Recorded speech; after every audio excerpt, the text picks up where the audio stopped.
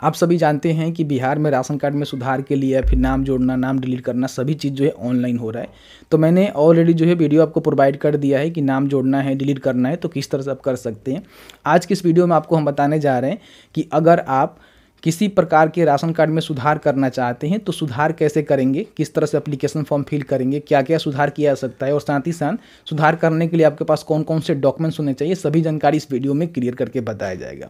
तो वीडियो शुरू से अंत तक लेकर ज़रूर देखिएगा, और वीडियो थोड़ा सा भी अच्छा लगे तो प्लीज़ भाई को सपोर्ट करने के लिए वीडियो को लाइक कर सकते हैं, क्योंकि आपका एक लाइक मुझे बहुत ज़्यादा मोटिवेट करता है। देखिए, सबसे पहले अपने कंप्यूटर के ब्राउज़र में टाइप करना है easy to net dot com थोड़ा सा नीचे आएँगे तो अभी तो पोस्ट आपको यहाँ पर मिल जाएगा, लेकिन थोड़ी देर के बाद आएँगे तो पोस्ट आपको देखने को नहीं मिलेगा तो आप यहाँ पे सर्च कर लेंगे Bihar ration card name add online. या फिर आप यहाँ से भी क्लिक कर सकते हैं, वैसे मैंने इसका लिंक भी डिस्क्रिप्शन बॉक्स में दे दिया हुआ है, जहाँ से क्लिक करके आ सकते हैं। यहाँ पे मैंने जो है ऑलमोस्ट आपको सारा जानकारी बताया हुआ है तो आप चाहें तो आर्टिकल को पढ़ सकते हैं, समझ सकते हैं। नीचे आने के बाद यहाँ पे Bihar ration card, name, add, online के सामने जो लॉगिन का ऑप्शन है, बस इस पर आपको क्लिक कर देना है। अब जैसे ही क्लिक करेंगे तो राशन कार्ड का जो ऑफिशियल पोर्टल है, आपको यहाँ पे भेज दिया जाता है। ये सबसे पहले आपको क्या करना है, लॉगिन के ऑप्शन पे आपको क्लिक करना है। बट इस बात का ध्यान रखिएगा कि जो भी जन्म परिचय का आईडी बनेगा, जिनके नाम से राशन कार्ड है, जिनके ना मतलब जो भी राशन कार्ड के आवेदक हैं, उनमें किसी प्रकार का कोई नाम ऐड करना है, सुधार करना है तो उनके ही नाम से आपको रजिस्ट्रेशन यहाँ पे करना होगा। तो सबसे पहले साइन अप फॉर मेरी पहचान के ऑप्शन पे आपको क्लिक कर लेना होगा। देखिए, आपको रजिस्ट्रेशन करना है तो यहाँ पे एक यूनिक मोबाइल नंबर आपको देना है, जो कि मोबाइल नंबर पहले से जन परिचय में लॉग नहीं होना चाहिए। जैसे ही मोबाइल नंबर वेरीफाई कर लेंगे तो आपका जो मोबाइल नंबर यहाँ पे वेरीफाई हो जाएगा। अब यहाँ पे जिनके भी नाम से राशन कार्ड है, उनका फ़र्स्ट नेम लास्ट नेम यहाँ पे डेट ऑफ़ बर्थ जो है कैलेंडर से आप चूज़ कर लेंगे, ठीक है? उसके बाद यहाँ पे जेंडर आपको बताना है कि मेल है कि फीमेल है। देन यहाँ पे उनका जो है एक जन्म परिचय का आईडी और यहाँ पे पासवर्ड आपको बताने हैं और उसी पासवर्ड को कंफर्म करना है। यहाँ पे एक्सेप्ट करना है एक्सेप्ट करने के बाद वेरीफाई के ऑप्शन पर क्लिक करना है। जैसे ही वेरीफाई के ऑप्शन पर क्लिक करेंगे तो आपका मेरी पहचान जन परिचय का आईडी यहाँ पे क्रिएट हो जाएगा। अब यहाँ पे कंटिन्यू के ऑप्शन पे आपको क्लिक करना है। के करने के लिए बोला जा रहा है। अब चाहे तो कर सकते हैं बट आप इसको स्किप भी कर सकते हैं। जो ऑफिशियल यहाँ पे पोर्टल है, उसका जो डैशबोर्ड है, आपके सामने इस तरह से ओपन हो जाएगा। यहाँ पे बिहार स्टेट सर्विसेज़ का ऑप्शन पर आपको क्लिक करना है, ठीक है? और यहाँ पे थोड़ा सा नीचे आएँगे तो आपको यहाँ पर मिल जाएगा Bihar ration card online production ठीक है? इस पर क्लिक करना है। एक्सेस नाउ के ऑप्शन पे आपको क्लिक करना है। फिर से आपको बिहार का जो पोर्टल है, जहाँ से राशन कार्ड बनता है, वहाँ पे आपको भेज दिया गया है।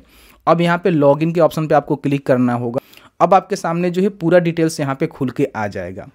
अब देखिए, यहाँ पे जो है थोड़ा सा आपको सावधानी बरतना है, क्योंकि यहीं से सारा जो है काम आपका स्टार्ट होगा।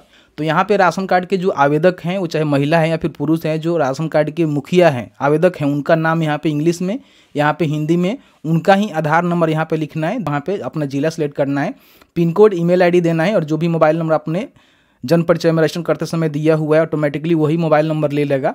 देन यहाँ पे कैप्चा डालना है और सबमिट के ऑप्शन पर क्लिक करना है। आपके सामने जो है कुछ इस तरह से डैशबोर्ड ओपन हो जाएगा। ध्यान रखिएगा, जिनके भी राशन कार्ड में आप कुछ एडिट करना चाहते हैं डिलीट ऐड करना चाहते हैं, उनके नाम से रजिस्ट्रेशन आपको करना है। अप्लाई के ऑप्शन पर क्लिक करना है। अप्लाई फॉर करेक्शन के ऑप्शन पर जाना है और अपना जो राशन कार्ड नंबर है, उनका ही डालना है, जिनके नाम से आप यहाँ पे रजिस्ट्रेशन किए हुए हैं। यहाँ पे डालेंगे सर्च के ऑप्शन पर क्लिक करेंगे तो आप यहाँ पे लाइव देख रहे हैं कि इनका जो जानकारी इस तरह से आ जाएगा। यहाँ पे जो भी कार्डधारी का वरिष्ठ महिला है वही यहाँ पे उनका आवेदक होंगी। जैसे कि आप नीचे भी देख सकते हैं कि एक नंबर में जिनका नाम है महिला का नाम, वही नाम जो है आपको यहाँ पे भरना है। जैसे कि अंग्रेज़ी में, हिंदी में, उनके पिता का नाम अंग्रेज़ी में, हिंदी में लिंग बताना है। यहाँ पे कार्डधारी के साथ संबंध क्या है? सवाई करिएगा। जाति यहाँ पे जो भी है सिलेक्ट करिएगा। अगर आप रिजर्वेशन कैटेगरी से आते हैं तो जाति प्रमाण पत्र दीजिएगा। आय का स्रोत क्या है? आप यहाँ पे बता सकते हैं, नहीं है तो ना कर दीजिएगा।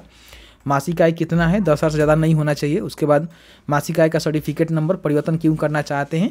तो यहाँ पे देख सकते हैं कि कार्ड में वर्जित ब्यौरों में अशुद्धिया यानी कि कुछ, किसी प्रकार का जो जानकारी है उसमें अशुद्धि पाया गया है, उसको आप सही करना चाहते हैं तो सिलेक्ट करेंगे। देन यहाँ पे कौन सा बैंक है? आपको बताना है।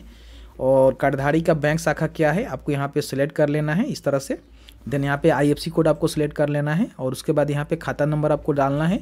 यहाँ पे पूरा उनका जो आवासीय पता है लिखना है, साठ करेक्टर ज़्यादा नहीं होना चाहिए सबमिट के ऑप्शन पे आपको क्लिक करना है। तो जैसे ही सबमिट करेंगे तो आपका जो डेटा है यहाँ पे सेव हो जाएगा ओके करना है। अब नीचे आएँगे तो यहाँ पे देखेंगे कि आपके राशन कार्ड में जितने भी सदस्य का नाम है, उन सभी का नाम यहाँ पे आपको देखने को मिलेगा। अब यहाँ पे मान लीजिए किसी भी सदस्य के नाम में आप एडिट करना चाहते हैं, उसके सामने एक एडिट का ऑप्शन है, इस पर क्लिक करेंगे। ठीक है? तो आपके सामने जो है पूरा इनका जानकारी खुलेगा। देखिए, नाम में भी एडिट कर सकते हैं पिता पति का नाम में भी कर सकते हैं लिंग में भी कर सकते हैं जन्म तिथि में भी कर सकते हैं और यहाँ पे विवाहित स्थिति भी आप यहाँ पे कर सकते हैं और इसको भी कर सकते हैं। आधार संख्या ही उनका डाल देंगे यहाँ पे। जिस तरह से उनका नाम है आधार पे, वही नाम जो है आपको यहाँ पे डालना होगा। अपने मन से लिखेंगे तो नहीं होगा। उसके बाद मोबाइल नंबर भी अपडेट करना चाहते हैं, उसको भी कर सकते हैं। यहाँ पे व्यवसाय कर्मचारी वगैरह वगैरह बताएँगे, आय का स्रोत है तो ना हाँ करेंगे, नहीं है तो ना करेंगे यहाँ पे। मासिक आय कितना है वो लिखना है।